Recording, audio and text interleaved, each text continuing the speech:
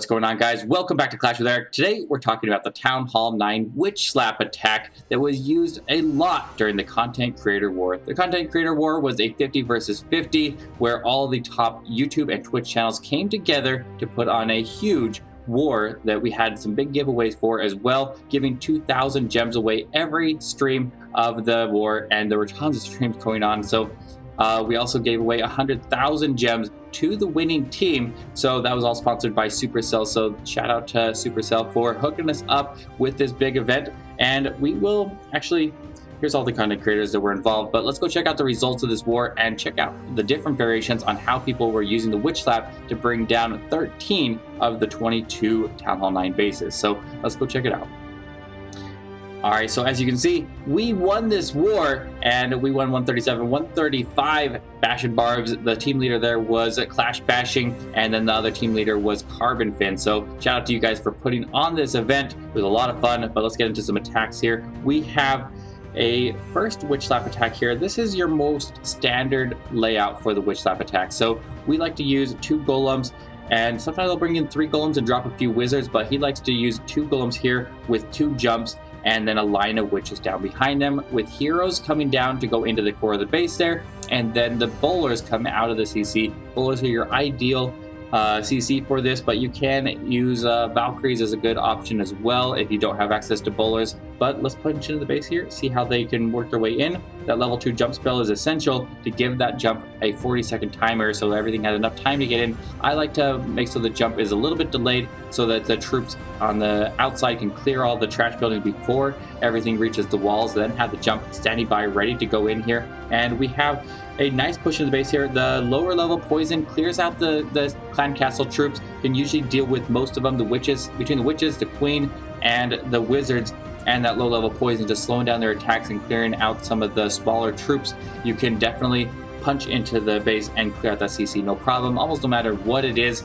And we will clear out the backside of the base, no problem. Look how far they pushed through. We have a skeleton trap that helped deal with one of the expos, but I'll show you how to do a little bit more with those skeletons, or skeleton spells. I mean, not skeleton trap. And we have a Tesla farm popping on the far side there. They're going to wrap around, no problem. The witches they don't need a lot of spell support. So we bring a rage and a heal, and mostly we're just concerned about getting them through the base because they stall up and they get separated if you don't have access to the base. So if you have really open base designs, then this absolutely crushes the bases. But in this one, we just bring a few jumps and we can create the base into an open format by just making jumps. So we clear out the backside space. Swag Queen ability in this one as they clear out and work their way over to this last corner hut. And that's a three star right there. And we'll go jump out and check out a couple more different variations where we start to add in healers and swap out golems for different situations.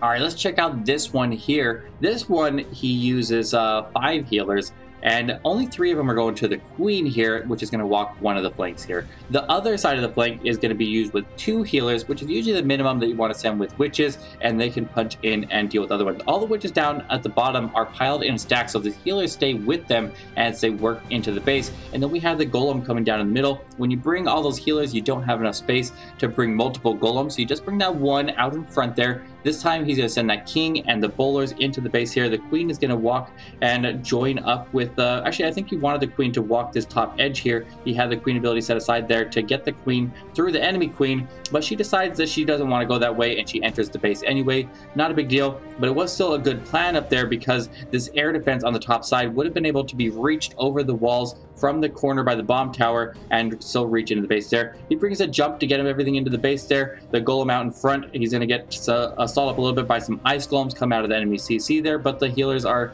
having no problem keeping everything up. He pops that queen ability to keep her alive since she was taking some heavy damage there. Another jump to get into the core of the base here, and the king is working on the outside now as he ended up leaving the base with the golem, and they're actually on the outside clearing out while the queen is working her way through the inside. So this attack in general is a bit spammy.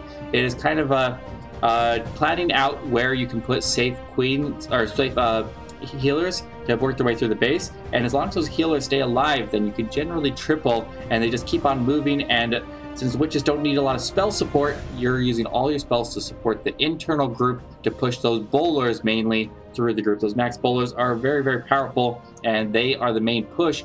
But like I said, you can use other CCs, but they're not going to have the same effect as bowlers, but they can still work. And as you see with the king's going to wrap around the top of the base there, clear that out. The queen's going to rejoin with everything there, and they're all going to move into the last little bit. So nice hit, and I believe a six pack by Sir Wars here. So let's go check out a different variation where we send the heroes in and healers on the side, and we'll see how they do that.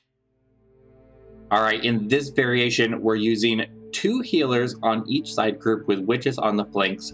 And then we're to push the heroes into the middle. We don't have a golem in this one, and he only has a level 12 king and a level 15 queen going against a completely maxed out base with a 27 level queen and king. So he's got his work cut out for him in this one. He's going to use the witches on the flanks there with the healers and notice that these wizards come down in the in between the side groups and the main group going into the middle to kind of separate them. So those uh those gold or the skeletons got out in front and did a little bit of tanking, and then the the the wizards came down to clear the trash and keep everything separated so they aren't just kind of mashing all together. That keeps the witches from splitting apart in side groups and keeps them in little pockets so they can actually push in here. The witches can reach over the wall and take out this air defense so their healers will stay safe. The other side doesn't have an air defense so they reach all the way in here, but the main group is going to have no problem reaching that before so whenever you use healers, like I said, you want to make sure that you keep those healers safe and you're going to be able to punch really far into the base here. With those low level heroes, he's not going to clear out a ton of the center of the base there, so he's really relying on his flanks to clean up wherever the heroes fall short. He's going to have to pop his queen ability fairly soon here. There it is, and that's going to punch her through the town hall. But uh, that's not going to be a big deal. He has a lot of the defenses cleared. The base of the core was gutted by that main group that went inside, and the side groups are going to have no problem clearing out the rest of the base here with those healers still intact because he watched the air defenses and was able to clear out the whole base without any problem. Just a little builder hut on the top side there, but we'll fast forward it here because these witches have absolutely crushed this base and they have no problem finishing it out even without those max heroes. So there we go, guys. Oraku Sanu or Saki, I mean, brings in the triple on that one. And we'll go check out one more, and then I'm gonna do a live attack over in double barrel for you guys, and we'll see if I can bring in hopefully a six pack, but I'm just gonna show one of them today. All right, we'll show this last one here, and then we'll go hit the live attack. So this one, he's just using two golems and 12 witches with two jumps. This is the most standard list that I like to run. He brought two poison spells here. I like to just bring the one poison spell and the uh, skeleton spell but he's going to have no problem pushing in here. Make sure that when you put those golems down, you have good anchor points that are spread apart. If they go to the same point, then they're not going to get as much value. And you might end up having them split off from where the witches are going. So he's just going to use a jump that's going to get him into the base here. That opens up access to the expo here, which the queen can actually reach over the walls there. So a little bit of a base building flaw there. Mr. Queen has no problem taking that down. Poison comes down to deal with the CC, and he uses the max level poison. He has the other poison, and I'm not sure what he's going to use it for. I don't think there's a lot of use for it after the CC goes down, unless like an E-drag comes out and you just want a little extra punch to get through it. But usually witches have no problem dealing with E-drags in the CC, and we actually have no problem dealing with hounds in the CC either because it uh, they, the witches can target it and help clean it up. So we punch in no problem here. Get another jump somewhere. Where did the jump go? Oh, the jump, uh, the second jump was the access. They were kind of overlapping from the outside and then the inside to get him into the core of the base there. So two jumps be a little bit uh, conservative with your jumps. Make sure you have access because if the witches separate from their skeletons, then they start being able to get targeted. So you need to have paths to get those skeletons to keep them out in front and keep that golem moving through the base. So the queen's gonna pop her ability, work her way into the last few defenses here. Huge swarm of witches coming around the bottom side. King broke out to the outside with a couple wizards and a bowler, and the golem as well. So they will have no problem clearing out the last few defenses. And we bring in a three star there with a swag poison. Like I said, maybe that poison could have been changed out to a different spell there and got a little bit better effect, but three star nonetheless. So let's go do the live attack now, and I'll plan one out. I'm gonna do the queen charge variation or queen walk variation, I mean, and we'll see if I can bring in a three star.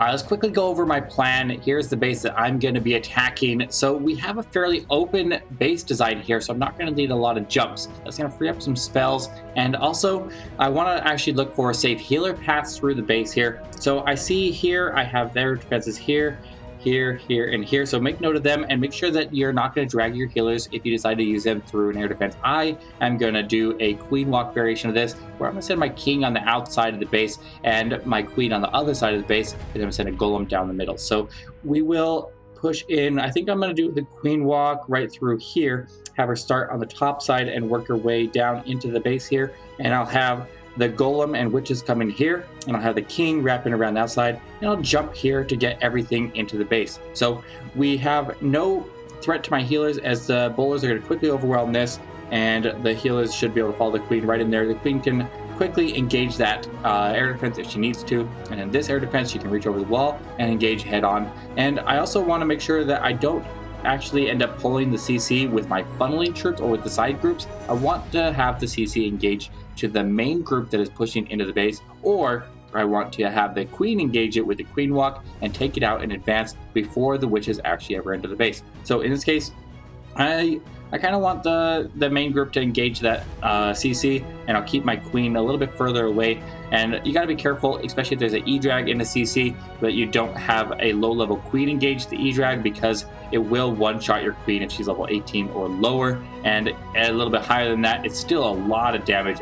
Even a level 30 queen really struggles with that sometimes. So be careful with it. If the queen is going to engage the, the an E-Drag, make sure you pop her ability right away to, or before it actually shoots, it has to charge up. So watch the scales on its back, and as it charges up, you'll be able to pop your ability right before it shoots and make so that it has to recharge its attack. So let's go in here and attack this, and hopefully we don't find an E-Drag, but it'll be fine if we do. And any of the CC I think will be perfectly okay as well. So we'll just keep that queen away from the CC just in case. Let's go do this. All right, guys, we're ready to go live. Here is the base that we're attacking once again. I think we're ready to do this. Let's go live in three, two, one. We're in. All right. So we're going to start it off. Walk this queen along the top side of the base there. Healer's down on her and let her work her way in. We'll use the king on the other side, couple witches down behind to support him. Golem in the middle, witches down, and the bowlers down behind that. Let them work into the base there. We'll get that rage down.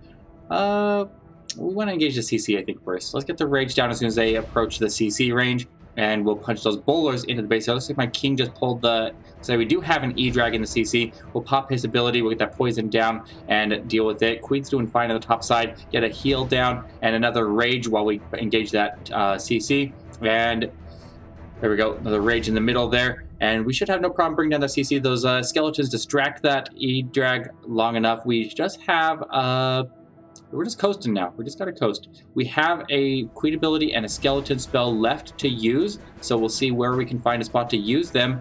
And I'm thinking we can just kind of chill for a minute and let the queen work her way around. Let the main group of witches is working over there at 5 o'clock work its way through the enemy king there. No splash damage, so they can completely overwhelm everything. The last splash damage on the base is that bomb tower and that wizard tower. So we'll see if we can use the skeleton spell to distract those as that main group of witches uh, approaches so that they can't take out my witches, they'll target the skeletons instead of my witches. So we'll get that skeleton spell down now, and that will just distract their fire for a little while to get those witches in. So the queen is still wrapping around the top side there. The bomb tower is uh, about to go down. There it goes. We have the skeleton spell still active there, working through that uh, wizard tower, and it looks like it just wore off there. But the queen is now approached there, but there was just, granted, there's just enough time there that the witches can continue working through. And we got the triple with a swag queen ability, and that's a six pack for me this war actually, so very nice.